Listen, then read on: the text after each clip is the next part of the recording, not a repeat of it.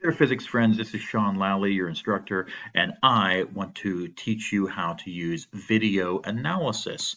So what I uh, want you to do in this lab is to perform a video analysis of some kind of motion. So the first thing you have to do is you have to shoot a short phone video. And this can be anyone or anything that you want to capture just a few seconds of uh, five to ten seconds should be enough. It can be you walking or running. It can be a basketball shot. It could be a ball rolling down an incline or a hill or something thrown up thrown down. Whatever you want to do should work. Again only just a few seconds of motion should be enough. Ideally some accelerated motion. So first thing you need to do is to um, get yourself ready with your phone. You're going to shoot horizontal video do not shoot in HD. I think that might be the default on some of the newer iPhones, so please do not shoot in HD. You have to change it in your settings. Shoot it with your phone still uh, horizontally, so landscape mode, first of all. Shoot it still. Do not track the motion. You don't have to put your phone on a tripod, but it could help. I, I think it's probably overkill to do that. Just shoot it still. Again, do not track the motion. You need to have something in the frame as some kind of measurement tool. Now, this could be a ruler. It could be a meter stick, though you probably don't have one of those handy. Uh, it could be even be an index card, something that you can use to identify a fixed measurement. So if you use an index card, the long end of the regular index card would be five inches. Uh, you have to that somewhere in there because that's going to give you a it's going to basically give you a scale that you can set to have uh, accurate measurements on your video. You're going to try and capture the motion for at least a meter. You want to ideally capture it from start to finish, but I'd say at the very bare minimum, capture it from start to wherever um, it ends up in the frame. Once it goes out of the frame, then there's nothing you can do with it. Again, do not shoot in HD. So let's assume that you make a good video and let me show you what to do. So first thing you want to do is launch Logger Pro, which I am going to do right here. So this is what happens when you have Logger Pro come up. You want to, and by the way, all of this is described in the handout, the lab handout for lab three. Go to insert and you're going to insert a movie. So there's a whole lot of defaults actually in the uh, the program, but you want to find your video. Now you either saved it on your desktop, more likely, or possibly in your Google folder, wherever you saved it.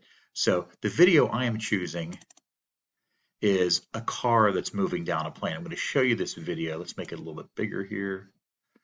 Show you the actual video. It was shot just a couple of seconds of a car that's accelerating down a plane. So I'm going to drag this back to the beginning, all the way to the beginning. And first thing I ask you to do is to click on this little trajectory icon. You have to do a couple of things. You choose the fourth thing down again. This is all described in the handout. This says set scale.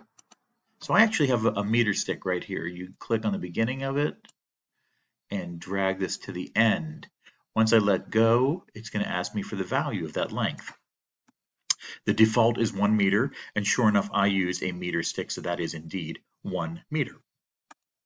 Having done that, I have now set the scale completely for the entire lab, both horizontally and vertically. Next thing I want to do is go to the third thing down that says set origin.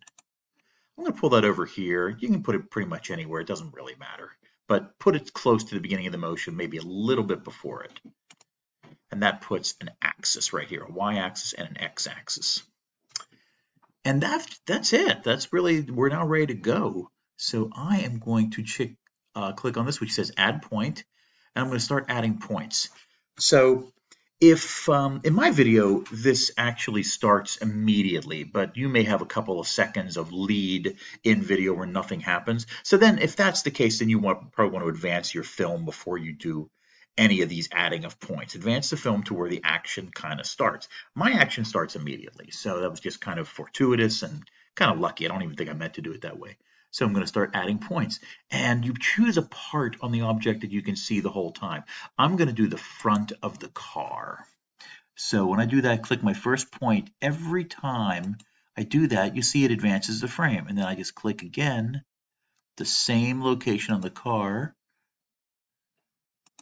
and I keep doing it. It keeps advancing the frame. It doesn't have to be perfect, but you want to get it as close as you can to this and make sure it's the same point every single time. You can notice in the back the graph is already being drawn. You might even actually notice that there's two graphs being drawn, some red dots and some blue dots. We'll get to that in a moment. So I'm going to keep adding points. You're probably wondering, boy, wouldn't it be cool if this did it automatically? And there is a version that actually does it automatically, but this particular version does not do it automatically. And the honestly, the automatic one doesn't work flawlessly either. So this is pretty quick. So you just keep adding points. And I'd say, in the lab I say to do for at least 10 points, but I'd actually like to, you to go to the end of the motion. It just takes a few more seconds. And mine's accelerating so they get further and further away. You sometimes have to pull your cursor away so you can see where the car is. Just a few more to go. Even if you look at the dots, you can tell they're getting further away. This car is definitely accelerating. It's a small ramp. So what we're doing is a motion capture. This version is not automatic, but still, this will give us lots to work with, a whole lot of data. This is shot with an iPhone, which I have to confess, I'm not sure. I think it's 20 frames per second. I don't think it's 24 or 25, but I don't know. You should look that up. I can't remember what iPhones shoot. I feel like it's got to be 20 or 24 or 25. Who knows? So I'm just going to go to the end of the track. And when I'm done, there's nothing else you really have to do. I'm just going to now minimize my video. I'm just going to kind of shrink it and look at that. There's your graph right there. All the data is over here you see that there's a whole lot of data points. You can scroll down and see how many, it looks like I've got 62 dots. The actual amount of time right there is two seconds. Oh, so wait a minute, maybe that's actually 30 frames a second. That would make sense actually if I've got 62 dots in, in just over two seconds. So I get maybe an iPhone is 30 frames per second. Somebody can tell me what's going on. Now look at the default here. I've got X dots and Y dots. The X dots actually represent the X motion of this. Oops, let's get back here. The x dots represent the x motion, that's the horizontal motion. The y dots represent the vertical motion. And if you can't remember that, basically all you have to do is just, um, you can kind of tell, see, the vertical motion doesn't really change. It basically just goes in a straight line, more or less. It, it inclines a little bit because of my frame.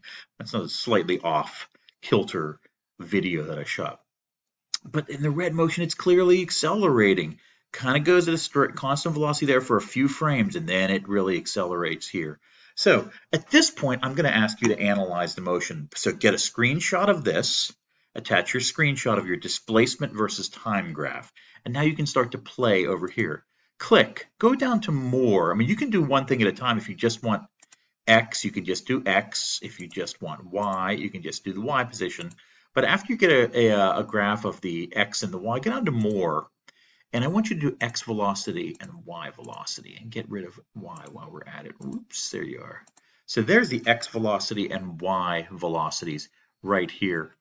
And um, so this actually will give you some numbers. Look at the, how the y velocity basically is zero here, but the x velocity. Now you can actually uh, I was hoping we could scroll in here. I know there's a way to do it, but you know, anyway, I won't bother with that right now. So, you, but you can click on data points, and you can get actual values, and you can also get them off of the data table here too, if you want. That's all the data values you have. Uh, this y velocity values are all negative just because they're below the y axis. Don't worry about those. The x velocities are they starting here at 0.515 and looks like they end up at right here to 0.773. Now at this point this is where clearly it must slow down, probably hits the very end. So what I ask you to do at this point is to look at the graphs and get me some information off of those graphs. The things that I ask for are going to be, this is way better video I had before. Um, the things I ask for, give me the total displacement, give me the maximum velocity, give me the time to reach maximum velocity, give me the acceleration. Note that you can get this stuff several different ways. If you have a nice linear um, velocity versus time graph, take the slope of it, and the slope will give you the acceleration. And to get the slope, all you have to do, you would come up to, I'm going to actually change this to just x velocity. So We could do that, and I could choose a linear fit under, oh, I'm sorry, under uh, Analyze. And linear fit right there would give you the uh, slope. And I have to confess, I'm looking at these last data points here, and I think they're problematic. So instead of those, I'm actually going to get rid of that, and I'm just going to choose highlight the data that I care about. Let's go with this data. And now let's do a linear fit of that.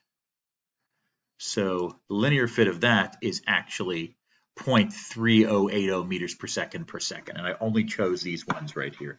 And even if I wanted to be a little bit crazier, I could really just probably um, could, uh, sorry, let's, let's go back to the X and I'm just gonna get rid of some of this data.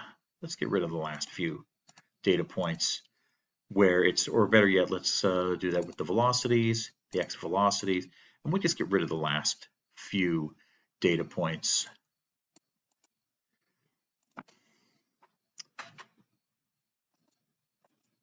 Well, okay. Yeah, it's not allowing me to do that, but anyway, you should be able to get rid of all that. Okay, well, you'll figure it out. okay, so that's what I want you to do in the lab. It's actually fairly quick. It probably took me as long to explain it as it will be for you to do it. Make sense? All right, friends, good luck, and um, I'll see you in a week.